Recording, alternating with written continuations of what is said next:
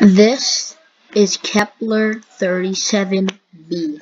It is the smallest exoplanet in the universe. Here's a comparison to Earth. And here's a comparison to Jupiter.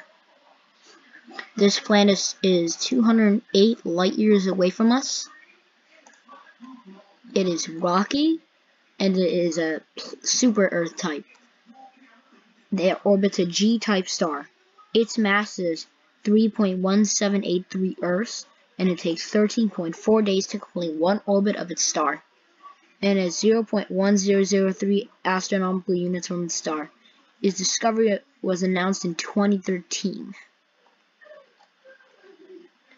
It has a radius of 296 0.296 times Earth, and its sun is 87 times the mass of our sun, and its radius is 79 times, or but 0.79 times our sun. With an autocar at 60 miles per hour, it takes 2 billion years to get to the planet. With a bullet train 120 miles per hour, 1 billion years. With a jet 600 miles per hour, 233 million years. With the Voyager 38,000 miles per hour, 4 million years. With light with a light year 671 million miles per hour, 209 years.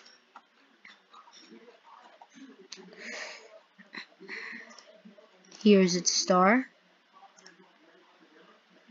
This is its star. Here's it compared to the sun. And that is it for today. See you guys later on my next video.